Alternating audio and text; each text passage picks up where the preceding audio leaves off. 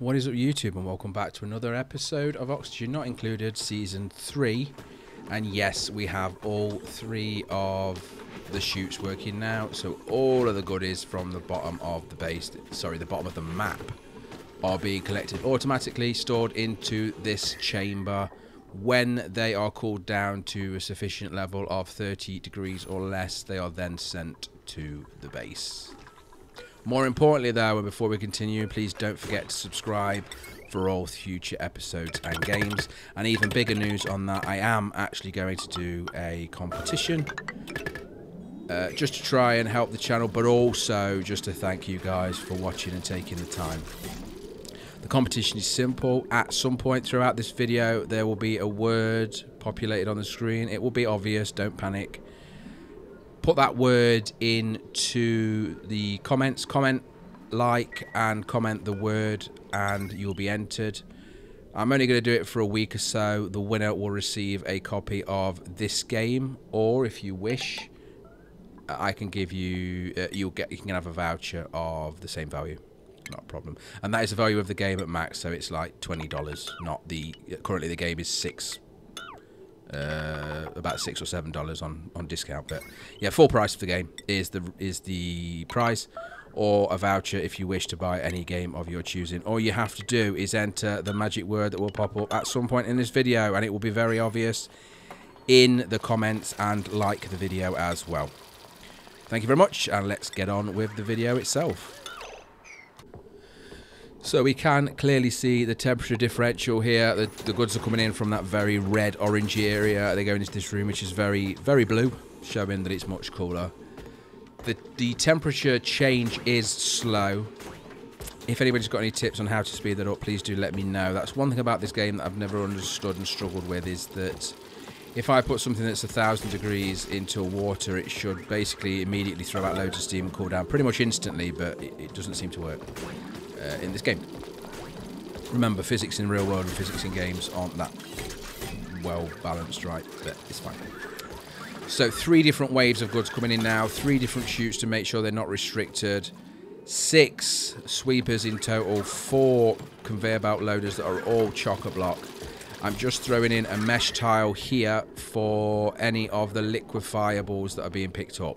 They are being picked up by the main collectors and they are being put in this chamber. They are not going to get sent into the base though.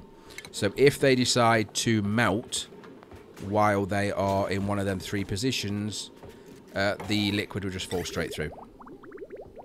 I'm also hoping that the fact that they're there and that there is temp shift plates, that they'll also help cool things down a bit quicker.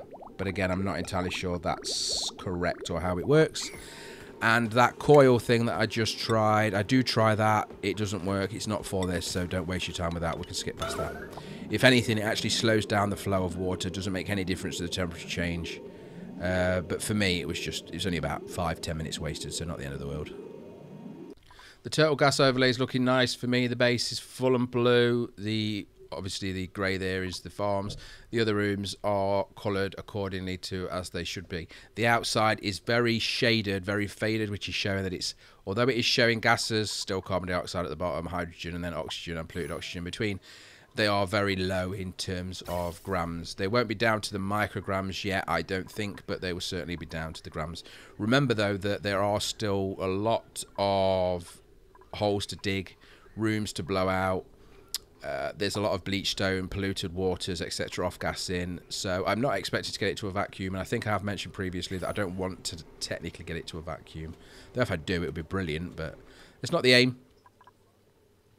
Um, it's just to try and collect the resources actually, because they are quote unquote resources. So that's what we need to use them for. So this is uh, mentioned actually in a previous episode, but the conclusion is the same. Effectively what I'm going to do here is take all of the polluted oxygen that I have stored, which is quite a lot, uh, push it into a room that is contained. In that room will be enough of the gas filters, filters? I'm not sure if that's the word, the, the cleaners to cover the width of the room. And then, of course, pumps in there that will pump constantly out the clean oxygen and dirty oxygen, polluted oxygen will just go back into the room. The idea then is you can see I've got four tanks full of polluted oxygen. We're going to turn all of that into clean oxygen and use it in the base or in the atmo suits. Simple as that, really. It does require a bit of finessing and building, of course, but it shouldn't be too difficult to work out. And there you go. That is the setup. Now, I have put a gas tile underneath the filters, only because they do actually filter below themselves as well, for those of you that didn't know that. So it's worth making sure they have full ability to, uh, sorry, full efficiency uh, in terms of turning the polluted oxygen into clean oxygen and then allowing that to be transported out of the room and used for whatever we need it for. Okay, more exciting now. Finally, I am breaking the service, breaching the service as it's called in the game. Uh, we are, this is the coolant area that we had from the very beginning and obviously we saw that it was near the surface and I'm going to dig out from here and create some sort of platform. It is a bit messy at the minute. We'll have to dig all, all out, climb up high, make sure everything's gone because we've had plenty of meteor showers. Normally in the normal game as well, remember you don't get meteor showers on your first asteroid, but clearly on the lab you do. So all of that will need digging out, flattening out and giving us some sort of platform. I can then look at getting a satellite up there, some power, Maybe, oh, well, yes, no. I need the transport tube, a transport tube loader, just so that the duplicants can get here instantly without having to run here. The meteors look terrifying. I'm sure they're not that aggressive on... Um... Yeah, that's brutal. We'll see. See how much damage they do when we actually get some buildings up there. But yeah, so we need power. We need the we're going to need a, a, transformer, I assume, as well, because we're going to be using a lot of power up here. A rocket platform, of course, uh, and then some way of getting the fuel up here, the petroleum for the rockets. I don't want to leave the petroleum in the pipe, though, on the surface to cool down, so I will use the meter, the liquid meter. Basically, it will allow us to say how much liquid we want to send to the rocket, and that's it, and then it will stop. Uh, I believe the, the engine for the petroleum, small petroleum rocket holds 450 kilos, so 450 litres of fuel. So we'll just set it at that. And then it won't be, the pipes will remain empty. Also draining the water on this right hand side that I mentioned. We're cleaning up all of the solids, so I thought I'd clean up the water as well. We are getting very close now to actually having some sort of uh, norm normality, yes.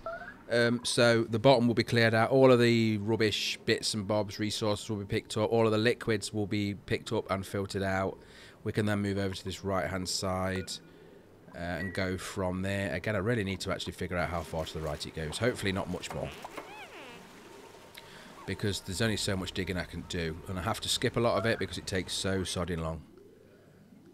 I did try the miners, but they wasn't that good, to be honest. I can't see an edge there, but it could be one tile off the dark there. It could be 200, who knows. We'll see. In the meantime, they're still building up top here, of course. Not forgot about that. They've got to build the scaffolding to get up high to all of these uh, bits of ground they need to dig out. Obviously, that left-hand side they've finished. That's fine. Some of it's falling down because it's like regolith, which is a new resource we've now found. And then a cycle later, we've actually managed to get almost everything done. So we have the rocket platform over there to the right. The satellite on the far left, though it's not been finished yet. There is a transporter tube station as well. I did that first to try and speed up the whole uh, everybody getting here, of course. Uh, and then the floor is just a metal floor that's made out of tungsten because I have a lot of that tungsten and iron, but I'm trying not to use the iron because that's what we need for steel. So I'm using the tungsten as my refined metal of choice, unless it's something electrical, which is copper, or decor, which is gold. Now, there is the issue of radiation as well. while I look at the petroleum engine just to figure out what it is, does, and how many towers it gives us, the answer to that is 20. Um, and this rocket is going to be a petroleum engine, it's going to have a battery, a solar panel, four or five critter transport pods, and one of the I can't remember what it's called now, but the capsule that lets you have up to 10 duplicants in it, the massive one, the biggest one. They're not going far for the second asteroid, right? I'm going to try and get some people over there and get all of them plug slugs back. Because more power, after all. We need more power. And free power from plug slugs is good. Now, they do eat ore. So I need to establish the realistic value. Though, as we're going to space, I'm going to be bringing ore in from various different comets and all sorts. I've never actually got to the drill core to go and do proper mining, so that's really exciting as well. But again, you tell me. You guys watching these episodes dictates when I record them and how I do them. Uh, some get quite a few views, some get hardly any hopefully the comments so far have all been positive. So if there's something I'm doing wrong, you need to let me know. Anyway. So cleaning out the gas pipes for cooling now because, as I've said previously, cooling with gas, although it works, is very inefficient and very poor. And the Drecko farms have always been an issue in terms of temperature since the start.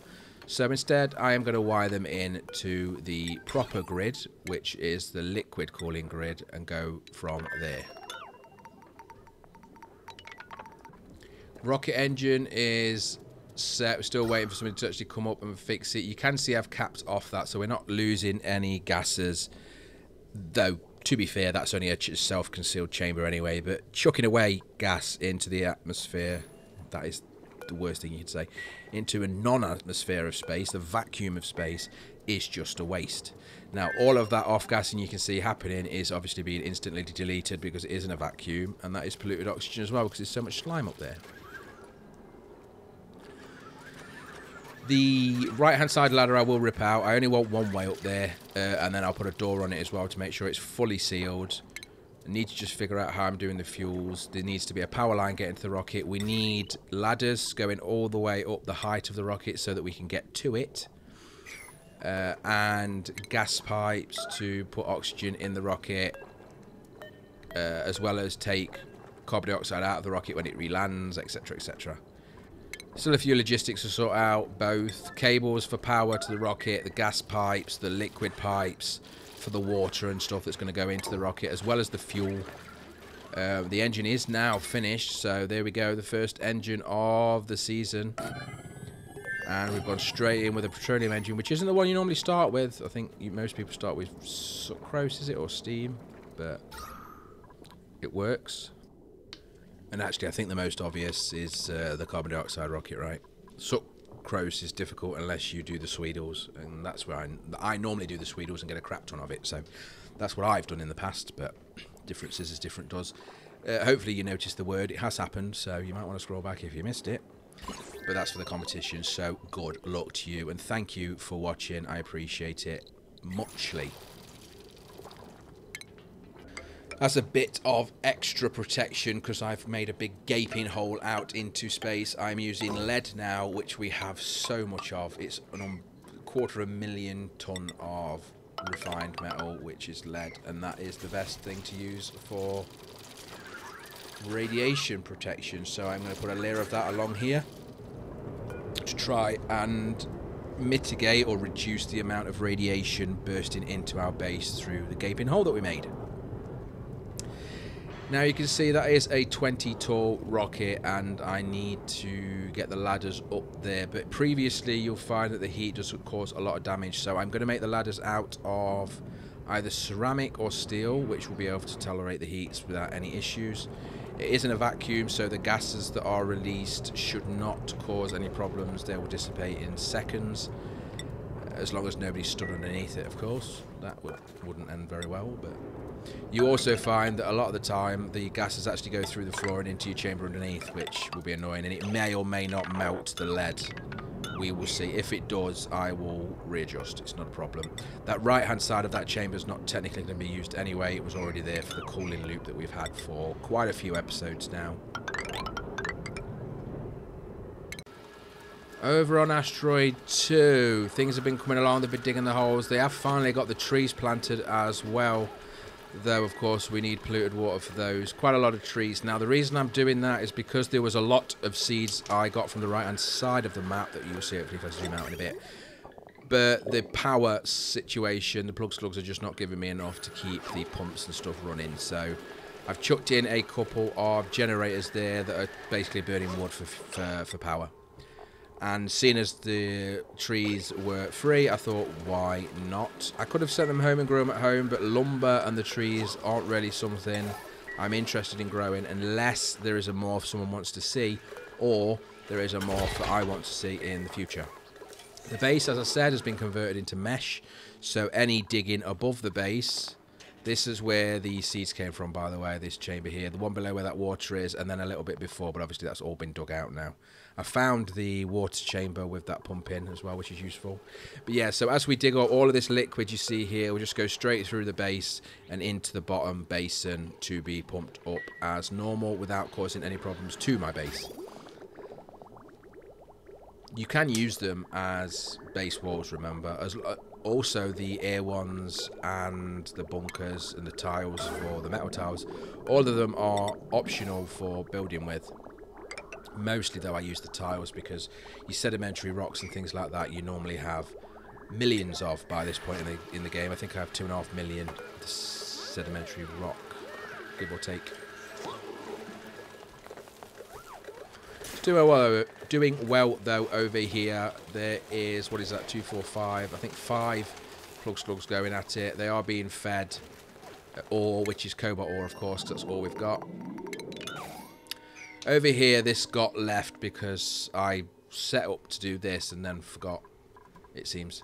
Uh, we are now at four and a third in terms of backup, so I do need to get this finished ASAP. Just off subject though, the cuddle pip did hatch and there he is in the ranch. Pretty in pink and you can see it's giving off a decor value. So you've got the green and yellowish one that is the standard pip. The light pink and dark pink one that is the cuddle pip. Again, please do comment and let me know if you're still watching at this stage. Let me know what you want to see in terms of morphs. If you're not sure what the options are, I have no problem uh, before the next episode just running through the mod there's basically pictures and you can see if you want to pick colours or whatever you like. Okay, so this is fun. I am now plumbing in from pretty much the bottom of the map where we're making the petroleum all the way up to the chamber below the rocket launch there. So a pipe that allows us to get that petroleum all the way up and into a rocket because having the fuel at the bottom of the base and the rocket at the top of the base isn't going to work unless you put the two together. So it's not too difficult without the mod to give me the long bridges to skip to, I'd be screwed though. Uh, there is actually a mod that I might switch out for, especially going into later game, where it allows you to do... You could jump 1 and 2 already, but it does a 3, 4 and a 5 as well. So far I've managed with the 1 and the 2, so it's okay. You can see the drain in there, 3 pumps into 3 levels of storage for the petroleum, then into three singular tanks that are be wallpapered yellow to show it's petroleum. Just I don't know why I did that if I'm honest, but there we are. Uh, the rocket there you can see has got a battery on there and a solar panel. So far, I don't know if I decided at this point what I was doing. Just wanted to have a look through all of the options and see what I wanted to make. The rocket is likely going to the second asteroid, and likely it means it is. So I will need to send some refined metals over, which teleporting is easy, so I can do that. Send them over to allow them to build a rocket platform to land on. Because, of course, you, you can't land without a rocket platform. So we can do that. The other planets, asteroids that we go to, of course, we'll have to do the long way using the rovers and the trebuchet. Yeah, I can't remember what they're called. But there's a proper um, cargo bay that you can use to drop resources off and then get the rovers to build it. lots of rovers is usually a plan that I like to do first. One astronaut to fly them over, and then you drop off loads of rovers, maybe even send two rockets, and let the rovers do the basics. That is ripping up the ground. Now, I'm not sure if I'm supposed to be able to send the biobots or not. I can't figure out how, and on the wiki, it doesn't seem to say either. If anybody knows how to do it, please do let me know. I've seen somebody comment about them trapping them in the shuttle and then launching it, but there was no comments after that comment to say if it actually worked or not. So it'd be great if somebody does know that. However, we are at the stage now where we're getting to the end of the episode, so I am going to end it here. The next episode will be the completion of the rocket and all of the things and infrastructure that needs to go with it. Thank you very much for watching. If you like the video, please click like. Don't forget the competition. And if you're still here now, once again, thank you very much. Take care. Goodbye.